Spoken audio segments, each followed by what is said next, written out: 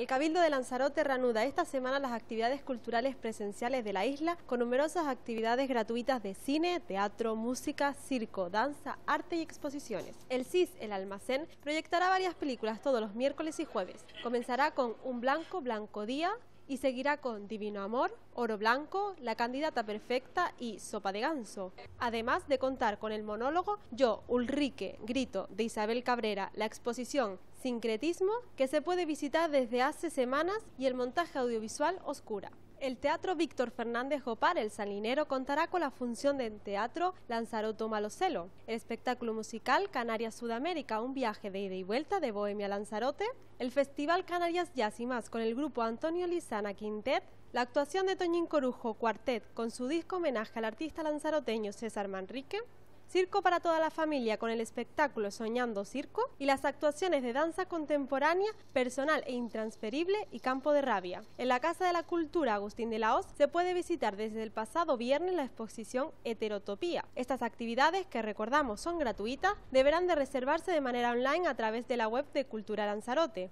Solo se podrá reservar cada semana las actividades de dicha semana. Por otro lado, en cada acto es obligatorio el uso de mascarilla, lavado de manos con gel hidroalcohólico en el acceso a los espacios y guardar la distancia de seguridad.